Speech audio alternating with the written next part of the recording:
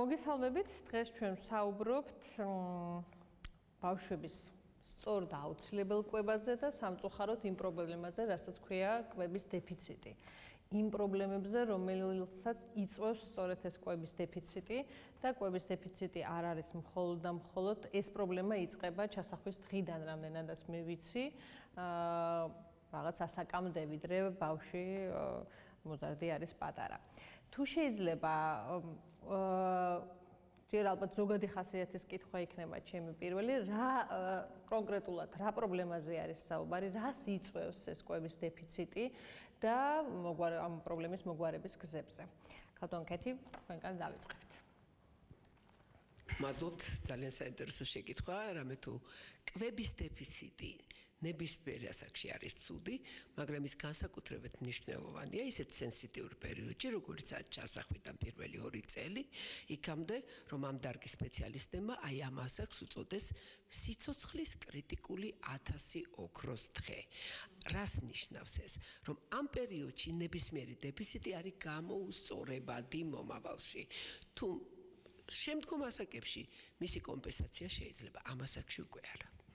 რა რას იწევს ეს კვების დეფიციტი კონკრეტულად და ჩვენთან მაინც იქიდან გამომდინარე საზოგადოება ნაკრებად არის ასეთ საკითხებში ინფორმირებული ხშირად მხოლოდ და მხოლოდ ჯანმრთელობის პრობლემებს უკავშირებენ. ნამდვილად მე ვიცი ეს არა მხოლოდ ჯანმრთელობის პრობლემა არამედ ასევე გონებრივი განვითარების ინტელექტუალური განვითარება. თქვენ აბსოლუტურად მართალი ბრძანდებით კვების დეფიციტი იგულისხმება სასიცოცხლოდ მნიშვნელოვანი ვიტამინები რკინა ცინკი, ფოლიუმის მჟავა ვიტამინებიდან განსაკუთრებით მნიშვნელოვანია. ეს არა მარტო, ასე ვთქვათ, იწევს სიგამხტრეს, რაც კვებასთან ასოცირებულია, არამედ ის იწევს რიგი პრობლემების განვითარებას, რომელთა აღდგენა მომავალში ახდება. კერძოდ, თუ ხალი არ მიიღებს აა ორსულობის პირველი დღეებიდანვე. ფოლიუმის მჟავას შესაძლებელია ბავშვი დაიბადოს და განსაკუთრებით ორსულობის პირველი სამი თვე შესაძლებელია ბავშვი დაიბადოს ნერვული მილის პათოლოგიით რაც ცხადია მის ჯანმრთელობას კვეთრად დაუარესებს. თუ დედას არ აქვს სისხლი ნორმალური ანუ რკინის მარაგი ბავშვი ჟანგბადის შიმშილის სიტუაციაში ვითარდება მოსალყობნის პერიოდში, რაც მის ნაადრე მშობიარობასთან, დაბალ წონასთან და მომავალში განვითარების პრობლემებთან არის დაკავშირებული. ნერვული მილის პათოლოგია, თითქოს გასაგები არის ყოველი სიტყვა, მაგრამ კონკრეტულად რა შევლინდება ეს პათოლოგია? რა ტიპის პრობლემაა? ეს რა ტიპის პრობლემაა? ხალხში ამას ეძახიან თიაქარს ნერვული ზურგის ტვინის თიაქარი მაგალითად შეიძლება გაჩნდეს ან სხვა უფრო მიკრო დაზიანებები რაც ძალიან მნიშვნელოვნად აუარესებს ბავშვის მდგომარეობას იწევს ძალიან დიდ დანახართ სახელმწიფოსას ამ ბავშვის ოპერაციულ ჩარევაზე ამიტომ ფოლიუმის მშავა რომელიც ერთი კურსით საშუალოდ 4 ლარი ღირს დედამ უნდა მიიღოს ჩასახვის დღიდან, აი როცა ის აპირებს უკვე რომ ბავშვი გააჩინოს, ვიდრე ორსულობის პირველი სამი თვეა რომ აიცილოს დავიდან ასეთი სერიოზული პრობლემა. იქიდან გამომდინარე რომ საქართველოში ხშირად ამბობენ რომ იმიტომ რომ ჩვენ ნატურალური საკვები გვაქვს და ეს არ არის ეს ეგრეთ წოდებული პლასმასები, რასაც თქვა თუნდაც ამერიკაში ან ევროპაში ჭამენ, ამ ვიტამინებს ჩვენ ვიღებთ საკვების საშუალებით.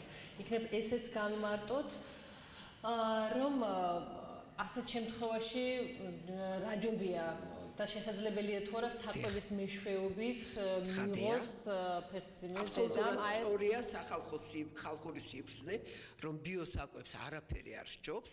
რასაკვირველია ეს ქალბატონები იღებენ საკვებს მაგრამ ჩვენ ვერ დავიყრდნობით რომ ის აუცილებლად იღებს ფოლიუმის იმ რაოდენობას რომელიც საჭიროა ნერვული მილის ჩანასახვანი განვითარებისთვის. და თავის დაზღვევის მისით ეძლევა ნამდვილად ის დღიური დოზა ეს არ არის სამკურნალო დოზა ჩვენ რომ ვიცოდეთ რომ ის საერთოდ არიხებს და ცუც საკვებს იხებს მაშინ სხვა დოზას დაუნიშნავთ. ჩვენ ვამბობთ დღიურ დოზას რომელიც აბსოლუტურად უვნებელია, საჭიროა, კარგია და გადაფარვას იწევს იმ სიმახინჯეების, ასე ვთქვათ, რომელიც მოსალოდნელია ფოლიუმის შავის დეფიციტის დროს.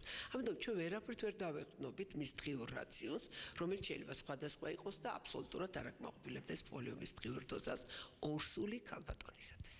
დიდი მადლობა ბატონო ირაკლი, თქვენ მოგმართავთ. აგრეთვე დაბადებიდან ესე იგი თქვენ რაღაცა ცოტა ვისაუბრეთ დედა რომელმაც აუცილებელი ვიტამინების რაოდენობა უნდა მიიღოს ფეხსიმობის დროს. შემდეგ დაბადებიდან ორ წლამდე ხო? თუ სწორად ხო. ა კიდევ როდესაც აი ეს ნაკლებობა პროცენტული ძალიან დიდი მაჩვენებელი არის კვლევის მიხედვით ჩვენს რომ სწორედ კვების დეფიციტს განიცდის ძალიან ბევრი ბავშვი საქართველოში.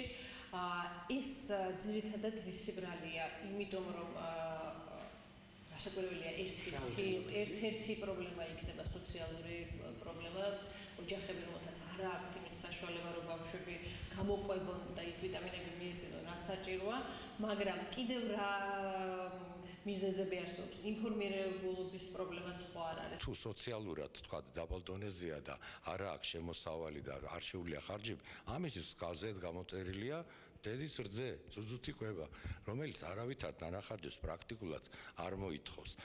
ის რომ აუცილებლად დედა კარგი ყვების უნდა იყოს, რაღაც საკვები უნდა მიიღოს და აქედან გამომდინარე თუ აი თხელ რძეს რო ეძახე რაღაც კიდე ბევრი სახელები აქვს, ამას არა აქვს მნიშვნელობა. რასაკვირველია ხა დედა თუ საერთოდ არ იღებს ინგრედიენტებს და საერთოდ ვერ გამოყოფს რძეს, ეს სხვა საკითხია, მაგრამ თუ რძე არის და ეს მნიშვნელოვანია ძუძე ადრე მიიყვანა რომ ჩაერთოს ის მექანიზმები, რომ დედა უზრუნველყოს ბავში.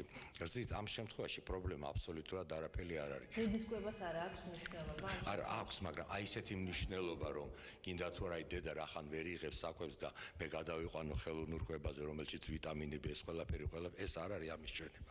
მაინც დედის რძე უნდა მიიღოს ბავშვმა იმ ხნის განმავლობაში რაც მას ეკუთვნის ანუ პრაქტიკულად შეიძლება 2 წლამდეც კი ძალიან დიდი მადლობა ქალბატონო მაია შემდეგ კითხეთ თქვენ მოგვართავთ კიდევ უფრო რო განმარტოთ და ვისაუბროთ იმ პრობლემებზე კონკრეტულად რომ შობლებისათვის ვინც ნახავს ჩვენს გაცემას იმას გასაგები იყოს თუ კი ბავშვი და ასევე ხერხმე დედა კვების დეფიციტს განიცდის და არ იღებს საკმარის რაოდენობა იმ ვიტამინებისა რომელიც აუცილებელია კონკრეტულად რა პრობლემების წინაშე დგება და ეს გავამახვილოთ ამ შემთხვევაში არ მხოლოდ ჯანმრთელობის პრობლემებზე რომელიც ბავშვს ექმნება ამაზეც და აგრეთვე ის რომ ეს კვება ასევე გონებრივი განვითარებისთვის არის აუცილებელი. ძალიან კარგი კითხვა არის, რა თქმა უნდა. პირველ რიგში მაინც ვიტყვი, რომ ორსულობა და ადრეული ასაკის ბავშვობა ეს არის გარკვეულწილად მგრძნობიარე პერიოდი, ძალიან სენსიტიური პერიოდი, რომლის დროსაც განსაკუთრებით მაღალი არის მოთხოვნილება და რომლის დროსაც თქვა რაღაც პრობლემები თუ წარმოიქმნება, მე ძალიან ძნელად ახმოსაფხრელია. ეს ვიტამინები, რა თქმა უნდა, ძალიან მნიშვნელოვანია ჯანმრთელობისთვის, მაგრამ არის მთელი რიგი ნივთიერებები, ჩვენ ზოგჯერ შეუცვლელ ნივთიერებებსაც ვეძახით, იმიტომ რომ პრაქტიკულად არის ნივთიერებები, რომელიც ორგანიზმში არ სინთეზირდება და ჩვენის აუცილებლად უნდა გარედან მივიღოთ, რომელიც ძალიან მნიშვნელოვანი არის ჩვენი გონებრივი განვითარებისთვის, ჩვენი ტვინის განვითარებისთვის. ძალიან კარგად იყო აქ ნათქვამი ქალბატონმა ქეთევანმაც და ბატონმა ირაკლიმაც ბრძანეს, რომ პირველ რიგში ორსულობის დროს ფოლიუმის მჟავა, რკინა, რომელიც განსაკუთრებით მნიშვნელოვანია მნიშვნელოვანია იოდი, ასევე რომელიც ძალიან მნიშვნელოვანია, იმიტომ რომ ყველა ეს მიკროელემენტების დეფიციტი ამ შემთხვევაში დედის ჯანმრთელობაზეც გარკვეულად აისახება, რა თქმა უნდა, იმიტომ რომ იგივე რკინის დეფიციტი, რომელიც იწვევს სისხლნაკლებობას, ძალიან მოქმედებს დედის შრომის უნარიანობაზე, ჯანმრთელობაზე, თვითშეგრძნებაზე, ემოციურ სტატუსზე, მაგრამ ძალიან მნიშვნელოვანი არის ناقოფისთვის, იმიტომ რომ ამ დროს ხდება ყველა იმ ძირითადი სტრუქტურის ორგანოს ჩამოყალიბება, რომლითაც მე ბავშვმა მთელი ცხოვრება უნდა გაატაროს. ბავშთა ადრეულ ასაკშიც ძალიან მნიშვნელოვანი არის სწორედ ეს მიკრონივთ ეს ნივთიერებები სხვა საკვებ ინგრედიენტებთან ერთად, რა თქმა უნდა, ხო ეს არ ნიშნავს იმას, რომ თქვა მარტო ეს ელემენტები რომ მივაწოდო და თქვა ძირითადი საბაზისო ცილა, ცხიმი, ნახშირწყალი არ მიიღოს, თქვა ამითი პრობლემა მოგვარდება, მაგრამ ამ ნივთიერებებთან ერთად მათი მიღება არის აუცილებელი, იმიტომ რომ დადგენილია დღეს რომ ისინი არის აუცილებელი გონებრივი განვითარებისთვის. რა ხდება? თუ რკინა დეფიციტი არის დადგენილი არის რომ რკინის დეფიციტი იწვევს ძალიან გამოხატულ ჩამორჩენას სწავლაში. განსაკუთრებით დასწავლის პროცესები ქვეითდება. არის გარკვეული მეხსიერების პრობლემები არის ყურადღების დეფიციტის პრობლემა. ანუ არ შეუძლია ბავშვს ყურადღების კონცენტრირება ერთ რომელიღაც საკითხზე. მკვეთრად ქვეითდება შრომის უნარიანობა და ეს ყველაფერი ქალბატონმა ქეთევანმა ხდება ბრძანა, რომ თუ რაღაც გარკვეულ პერიოდში ეს არის აღდგენადი, აი სწორედ ადრეული ასაკის ბავშვობაში თუ ეს არის ქრონიკული დეფიციტი, არის ძალიან გახანგრძლივებული მდგომარეობა, სამწუხაროდ ჩვენ შეიძლება მივიღოთ სერიოზული პრობლემები განვითარების მხრივ. გარდა ამისა, იგივე ნივთიერებებს უკავშირდება გარკვეული ქცევითი დარღვევებიც, ანუ ასეთი ბავშვები არიან ძალიან ჰიპერაქტიულები, ვერ აჩერებთ, ანუ არ შეუძლია თითქოს ერთ ადგილზე გაჩერება, ანუ ამ თვალსაზრისითაც ამ თვალსაზრისითაც ძალიან მნიშვნელოვანია და ქალბატონ ქეთევანი მახსენებს ახლა განსაკუთრებით მათემატიკური აზროვნების მომენტი, ანუ ანალიტიკური, ლოგიკური აზროვნება, რომელიც განსაკუთრებით ხდება დაქვეითება ამ ნაწილის და ამიტომ ეს აუცილებლად უნდა გავითვალისწინოთ. ანუ ჩვენთვის საკვები ეს არის აუცილებელი არა მარტო ჩვენი ჯანმრთელობისთვის, არამედ არის აუცილებელი ჩვენი გონებრივი განვითარებისთვის და ამას მშობლებმა ძალიან დიდი ყურადღება უნდა მიაქციონ. ამ თვალსაზრისით უბრალოდ არ შემიძლია რომ არ დავეთანხო ბატონ ერაკლის რომ სწორედ პირველი 6 თვის განმავლობაში მხოლოდ ძუძუთი კვება და შემდეგ ძუძუთი კვების გაგრძელება 2 წლამდე ადეკვატურ დამატებით საკვებთანა ერთად ეს არის ერთ-ერთი არაჩვეულებრივი საშუალება ესეთი საუკეთესო სტარტისთვის მისაცემი რაც კი ჩვენ შეგვიძლია საუკეთესო მივცეთ ჩვენ შვილებს ჩვენ რეალურად ამითი ვაძლევთ. იმიტომ რომ ქალის რძე ეს არ არის მხოლოდ საკვები ეს არის უნიკალური ნივთიერება რომელიც აბსოლუტურად ბავშვის მოთხოვნილების მიხედვით იცვლება და რომელიც დამეთახმებიან ჩემი კოლეგები საკვებ ინგრედიენტებთან ერთად შეიცავს იმუნიტეტისთვის ძალიან მნიშვნელოვან დამცველობით ფუნქციებს ძალიან ბევრი დაავადებებისაგან იცავს პრაქტიკულად პატარას და აქვს ეგრეთ წოდებული კიდევ ზრდის ფაქტორები რომლებიც ასევე მოქმედებენ თქვათ გარკვეული ორგანოებისა და სისტემების განვითარებასა და მომწიფებაზე. კი ბატონო, რასაკვირველია. აი გაგზელებაზე უნდა აი ამ რაც ძანა უნდა გითხრათ რომ აი სწორედ ეს ხსევითი კვებითი ამბები მე პრობლემები რო ექნება მშობლებს რომ რატო იქცევა ასეთი რატოა ასე რატო იქცევა თქვა რატო ვერ სწავლობს ვის გავს როგორ არის? ეს პრაქტიკულად ბევრად არის დამოკიდებული იმ პერიოდზე რაზეც მაინამ ილაპარაკ. ამიტომ ამ კითხვებზე მე შობლებს პრობლემები უჩნდება 3 4 5 წლის ასაკში და მოზარდობის პერიოდში ყველაფერი დევს აი ამ 1000 დღეში. საკმაოდ ძალიან ტრაგიკული ციფრი არის რომ ყოველ ყოველწლიურად 5 წლამდე ასაკის 300 ბავშვი იღუპება სწორედ აი ამ დედის ანემიის და კვების დეფიციტის გამო. რა არის ამის მიზეზი? თავარი მიზეზი. ინფორმაციის ნაკლებობა თუ როდესაც ძალიან მნიშვნელოვანია და საერთოდ ნებისმიერი ქვეყნისთვის ბარომეტრია განვითარების თუ როგორია აქ დედათა და ბავშვთა სიკვდილობა. ძველი იდიომაა, რომ სიღარიბე იწევს კვების ნაკლებობას და ახალი მიდგომაა, რომ სიღარიბეს იწევს კვების ნაკლებობა. ანუ ეს ბავშვები, რომელთაც კვების ეს პრობლემები ექნება, ისინი გადაწყვეტილების მიღები ვერ გაიზრდებიან, ისინი ქვეყნის აღორძინებას ვერ შეუწყობენ ხელს. ამიტომ თითეული კაპიკი ინვესტირებული ამ ასაკში არის ქვეყნის აღორძინების საფუძველი. სიღარიბის დაძლევის სტრატეგია არის აი ამ კვების აღმოფხვრა და შესაძლებელია ამის გაკეთება. იმ მიკროელემენტების და იმ ვიტამინების დამატებით, რომელიც არსებულ კვებასთან ერთად, რასაკვირველია, ოპტიმალური კვება ეს არის სრულად აუცილებელი, მაგრამ ნებისმიერ კვებასთან ერთად მიკრო მაინც ჩვენ გვიკეთებს პრევენციას. როდესაც სოფლიო ჯანდაცვის ორგანიზაციამ შეადგინა ეგრეთ წოდებული რგოლი და დაწერა ბავშვთა ძირითადი მკვლელები, დაწერა იქ სასუნთქი სისტემა, კუჭნაწლავი, მალარია, წითელა და ასე შემდეგ, შუაში დაწერა კვება. მალნუტრიცია, კვების ნაკლებობა. ანუ ამ ფონზე კლავს ეს ორი ჯანმრთელ ბავშვს არ მოკლავს ის. ამიტომ ნიშნელოვანია, რომ სწორედ აი ამ კრიტიკულ დღეებში, როგორიცაა ჩასახვიდან სიცოცხლის 2 წელი, ანუ სულ 1000 დღე, ის ორსული ქალი და ორსული ქალის გზით, შემდეგ დაბადებიდან ძუძუთი კვება, იქ თუ ფოლიუმი და რკინა აუცილებელი და იოდი, კარგი გაახსენდა მაიკოს იოდეს ძალიან მნიშვნელოვანი, მაგრამ გადაწყვეტილი პრობლემაა საქართველოსში და ეხლა მაგაზე უკვე აქცენტს აღარ ვაკეთებთ, რადგან იოდიზირებული მარილი შემოდის.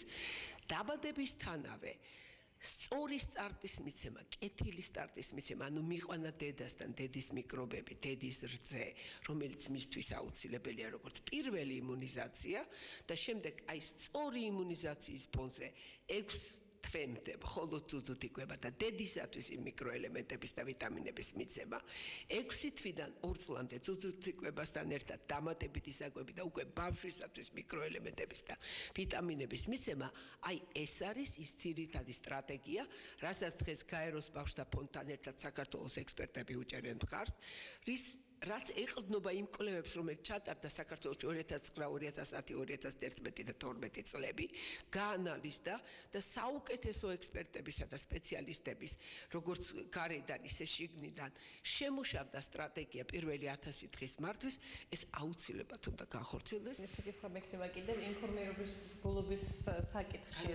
რამდენად ხო აი განათლების საკითხში, რამდენად წინ გადადგმული ნაბიჯები არის ამ უკანასკნელი წლების განმავლობაში და თქვენ თავადაც გაქვთ პაციენტებთან ურთიერთობა, როდესაც ბავშვი მოყავთ, მშობლის შემთხვევაში რასაწყდებით უფრო მეტად ის რომ როდესაც მშობელი ამბობს რომ არ ვიცოდი რომ ეს უნდა მექნა, ასეთ შემთხვევებში ხშირია. ხშირია. აა მინდა რამენად ტენდენცია როგორი არის თქვენ და მინდა გავაგრძელო სწორედ თქვენი შეკითხვა იმ განათლებაზე და მინდა გითხრათ რომ ექიმი ავადმყოფს ცოტა მეტ დროს უნდა უთმობდეს. ჩვენი რა იყო რომ გასინჯე აბა ფილტვები მოვისმინოთ აბა აქ ყველაფერი უნდა მინიმუმ 1-40 წუთი ცოტა მეტი ჭირდება ბავშვის გასინჯას იგივე დედასთან გასაუბრებას ამ ყველა რეკომენდაციების მიცემას. ნუ გარდა ამისა ხა ვიცით ელექტრონული არის და ბევრი რაღაცები იწერება დედა თვითონაც უნდა დაინტერესდეს წაიკითხოს მაგრამ ან უნდა იცოდეს რომ რა წაიკითხოს იმიტომ რომ იგივე ინტერნეტში ეს მნიშვნელოვანია. იმდენი რაღაც შეიძლება იპოვოს რომ ყველა თავის სასარგებლო შეიძლება ნახოს მაგრამ აქედან გამომდინარე სწორედ პედიატრების იგივე პედიატრ აკადემიის ერთ-ერთი მიმართულება ის იქნება რომ შენ თუ გინდა რაღაც გააკეთო მოსახლეობაში ინსტიტუციურად სწორად გააკეთო არა მარტო ილაპარაკო და მე ვილაპარაკე პირიქით შედეგზე უნდა ვიყოთ ორიენტირებული. ჩვენ და ეს შედეგი სწორედ ისაა რომ ყოველ დედამდე ან მომავალ დედამდე უნდა მივიყვანოთ ეს. ეხა იტყვით თქვენ რომ აი კვებაზე ახლა ალაპარაკდითო და მინდა გითხრათ აქამდე ჩვენ წავე ინფექციებზე ჩვენ პედიატრებს საერთოდ წავე ინფექციებზე იყო ეს აცრებენ ეს ყველაფერი თანდათან შეამცირა. სწორედ ეს არის პრობლემა. აქცენტი 15 20 25 წლის წინ იყო ავანტყოფი ბავშვის კვებაზე და ჯამრთელი ბავშვის კვებას ისე აღარ უყურებდნენ. ეხლა ეს ძალიან უკვე ამისი როგორ გითხრათ ევიდენსით ანუ მტკიცებულებზე დაფუძნებული ბევრი კვლევა არის და ჩვენ უკვე შეგვიძლია ეს რეკომენდაციები რაც დღეს ჩემმა კოლეგებმა ელაპარაკეს ეს უკვე დანერგილია მოქმედებს და უშიშრად შეგვიძლია ეს თანა ძალიან ადვილია და არც ისე ძვირია და აჯერ მოგებული დარჩება ასე თქვა ყველა ოჯახი ყველა მშობელი თუ ამ რეკომენდაცია და ბოლო-ბოლოს სახელმწიფოც. სასაკვირველია ძალიან დიდი მადლობა ბოლოს ქალბატონ ქალბატონ მაესთან იგივე ხო პრინციპში კითხვა რეკომენდაცია რომელსაც გაცემდა მნიშვნელობაზე კიდევ დასკვნა პერიოდი როგორც აღნიშნე ძალიან მნიშვნელოვანია და ხშირად ეძახიან ხოლმე ესეთ შესაძლებლობის ფანჯარას. ანუ პრაქტიკულად აქ არის ყველა შესაძლებლობები, რომელიც ჩვენ შეიძლება ჩავდოთ ბავშვთან. სამწუხაროდ რაღაც დროის შემდეგ ეს შესაძლებლობის ფანჯარა იხურება და ჩვენ უკვე რაღაცებს შეიძლება ძალიან გვინდოდეს გაკეთება, მაგრამ ვერ გავაკეთოთ. რა არის ძალიან მნიშვნელოვანი? ანუ ყველა სახელმწიფოს მოვალეობაც არის და მიზანიც არის რომ მომავალი თაობა იყოს ჯამრთელი, განვითარებული, იმიტომ რომ ეს არის მართლა ყველაზე დიდი ინვესტიცია. რა თქმა უნდა და ეკონომიურად ეკონომიურად ძალიან დიდი ინვესტიცია ამავე დროს. ამ თვალსაზრისით, რა თქმა უნდა, ამ ასაკს აქვს განსაკუთრებული მნიშვნელობა და უნდა გავამახვილოთ ყურადღება, რომ ერთი მხრივ კვება, რომელიც ძალიან მნიშვნელოვანია და მეორე მხრივ აქ აღნიშნავ კიდევ სტიმულაციას, ანუ ურთიერთობას ბავშვ ბავშვთან, ბავშვის განვითარების ხელშეწყობას. ესეც ძალიან მნიშვნელოვანია და ესეც სხვათა შორის ისევ გაეროს ბავშვთა ფონდის მიერ ჩატარებულმა კვლევამ დაადასტურა, რომ საქართველოში გარდა იმისა, რომ პრობლემები გვაქვს კვების მხრივ, პრობლემები გვაქვს არ გვეგონა, მაგრამ ამ მხრივაც, იცით, მთელი რიგი გამოვლინდა მთელი რიგი აი ოჯახები რომლებიც საერთოდ ამბობდნენ რომ რატო რა თუნდა ბავშვს ფანქრები რა თუნდა ციგნი როცა შეიძლება სკოლაში შევიყვათ და მე ისწავლის ამას რაც რა თქმა უნდა განათლების დაუბრუნდები იქი და განათლების პრობლემა. ამიტომ განათლებას ძალიან დიდი მნიშვნელობა უნდა მივაქციოთ, რა თქმა უნდა. ვისაუბრეთ წინა ერთ-ერთ გადაცემაში სკოლამდე ასაკში განათლების აუცილებლობაზე. ძალიან მნიშვნელოვანი არის, ძალიან მნიშვნელოვანი არის ექიმი როგორ მიაწოდის ყველაფერს პაციენტს, ძალიან მნიშვნელოვანი არის სახელმწიფოს დამოკიდებულება, იმიტომ რომ ძალიან ბევრ ქვეყანაში სწორედ ის მნიშვნელოვანი ელემენტები, მიკროელემენტები, რომელიც აუცილებლობას წარმოადგენს, ზოგადად არის დამატებული საკვებში და ვთქვათ, განსაკუთრებით იმის დამატება აღარ არის საჭირო, ანუ ამითი არის ფქვილი ან სხვა რაღაცა საკვები პროდუქტი გამდიდრებული და პრაქტიკულად ყველა ადამიანი ამ მიკროელემენტს, რომელიც არის აუცილებელი შესაძლებელი ამას იღებს. აი ესეც ძალიან მნიშვნელოვანია. იმედი მაქვს რომ საქართველოსში სწორედ როგორც სახელმწიფო სექტორის, ასევე არასამთავრობო ორგანიზაციების, ასევე საერთაშორისო ორგანიზაციების ხელშეწყობით ეს საკითხიც ალბათ მოგვარდება, რაც რა თქმა უნდა ხელს შეუწყობს როგორც სიკვდილობის შემცირებას, ასევე ჩვენი მომავალი თაობის განვითარებას. აა ძალიან მნიშვნელოვანი გადაცემაა, მაგრამ მე არ შემეძლია არ თქვა ყველაზე მნიშვნელოვანი რაც არის ბავშვთაკვებასთან დაკავშირებით. უნივერსალური ბენეფიციარის პრინციპი. იმიტომ რომ აი, როდესაც სუდი შემთხვევები არის საქართველოში, აღმოჩნდება, რომ ეს ბავშვი არ არის სოციალური დაცვის ქვეშ. რატომ არ არის იწება გამო? ეს უფრო ძვირია. მე ვფიქრობ მიკროელემენტებით აუცილებლად უნდა მოხდეს ყველა ამასაკის ბავშვის და ყველა ორსული ქალის უზრუნველყოფა. აი ეს სწორედ უნივერსალური ბენეფიციარის პრინციპი არის გზა საუკეთესო გადარჩენისა. საუკეთესო განვითარებისაკენ, იმიტომ რომ ეს არის ის სტარტი, როდესაც ჩვენ ვზრდით ადამიანს, რომელიც არასოდეს არ ჩავარდება სიღარიბეში, რამე თუ მას ეკნება ანალიტიკური აზროვნების უნარი და ის განვითარდება. და ძალიან სწორად აღნიშნა ჩემო კოლეგამ, რომ არავითარ შემთხვევაში ჩვენ არ უნდა დაუკეტოთ ბავშვებს ეს ფანჯარა და ჩვენ უნდა მივცეთ თანაბარი შესაძლებლობა განვითარების. 21 საუკუნეში პრაქტიკულად ყველაფერი გაზომვადია. ჩვენ ვიცით ამერიკაში ყველაფერი იციან რა აღეს არის დიდი სტატისტიკა. ასეთი დიდი კვლევა მულტიცენტრული ჩატარდა საქართველოსშიც იმ მაჩვენებლებზე რომელიც ჩვენ გვაქვს 8 ინდიკატორია და დადგინდა უთხოვარად რომ 10 წელიწადში ქვეყანა აი მალტონ მალნუტრიცით ანუ კვების დეფიციტით ზარალი არის 1 მილიარდ 300 მილიონი დოლარი. და ისიც კი დათვლილია, რომ აი ეს 300 მილიონად ინ თუ სახელმწიფოსგან იქნება ან სხვა ინვესტორებისგან მხარდაჭერა, ხომ? ეს ანუ 10 წელიწადზე ვლაპარაკობ და სტარტისთვის ბევრად ნაკლებია საჭირო. ეს მილიარდ 300 მილიონი აღარ ეხნება ხარჯი სახელმწიფოს, ეს არის ძალიან დიდი მოგება. ამის ერთ მაგალითსაც გეტყვით ის, რომ აი თითოეული 10 წელი ბავში 1-10 დოლარს მოგებას იძლევა შემდგომში იმ ავადობის და წავე ინფექციებს ესეც დადასტურებულია.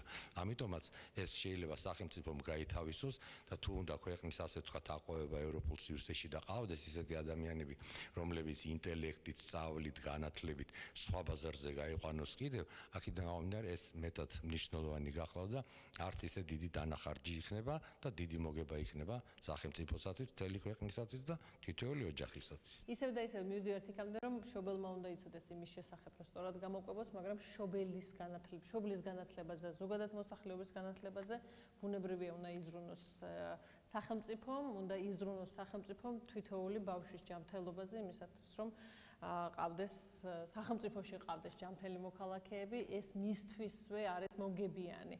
და ამისათვის ფინანსების გადადება და რაღაცნაირად ეკონომია არასოდეს არ უნდა მოახდინოს იმიტომ რომ ეს დღესგაკეთებული ეკონომია, როგორც მე მივხვდი, არის ხვალ მიღებული საშინელი დანაკარგი.